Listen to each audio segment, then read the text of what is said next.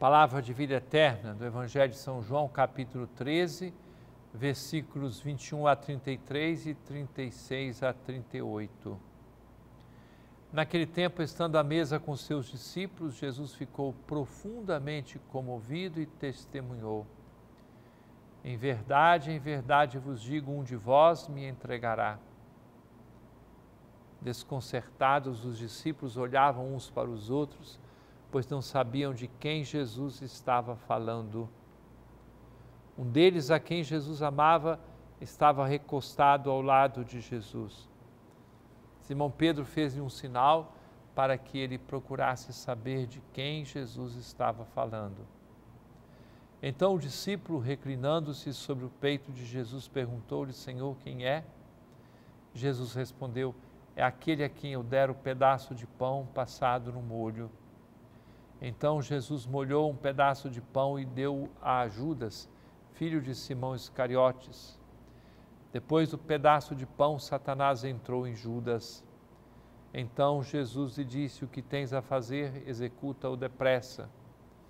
Nenhum dos presentes compreendeu por que Jesus lhe disse isso. Como Judas guardava a bolsa, alguns pensavam que Jesus lhe queria dizer: compra o que precisamos para a festa ou que desse alguma coisa aos pobres. Depois de receber o pedaço de pão, Judas saiu imediatamente. Era noite. Depois que Judas saiu, disse Jesus: Agora foi glorificado o Filho do Homem, e Deus foi glorificado nele. Se Deus foi glorificado nele, também Deus o glorificará em si mesmo e o glorificará logo. Filhinhos, por pouco tempo eu estou ainda convosco Vós me procurareis, e agora vos digo, como eu disse também aos judeus: para onde eu vou, vós não podeis ir.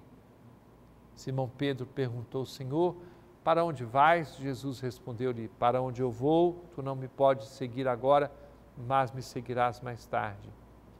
Pedro disse: Senhor, por que não posso seguir-te agora? Eu darei a minha vida por ti. Respondeu Jesus: Darás a tua vida por mim? Em verdade, em verdade te digo: o galo não cantará antes que me tenhas negado três vezes.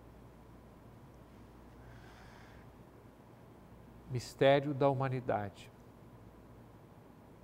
Homens que estiveram tão próximos de Jesus e foram capazes de amá-lo, deixaram-se amar por ele e também foram capazes de traí-lo ou negá-lo. Mistério doloroso da humanidade. Nós somos capazes do pior ou do melhor.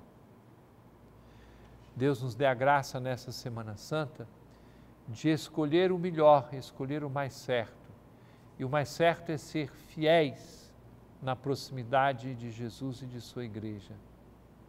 É o melhor que nós podemos fazer mesmo com as nossas eventuais infidelidades e fraquezas, somos chamados, convidados, apelados pelo Senhor a esta fidelidade contínua. É assim que nós queremos viver essa Semana Santa e a nossa preparação para a Páscoa. É palavra de vida eterna.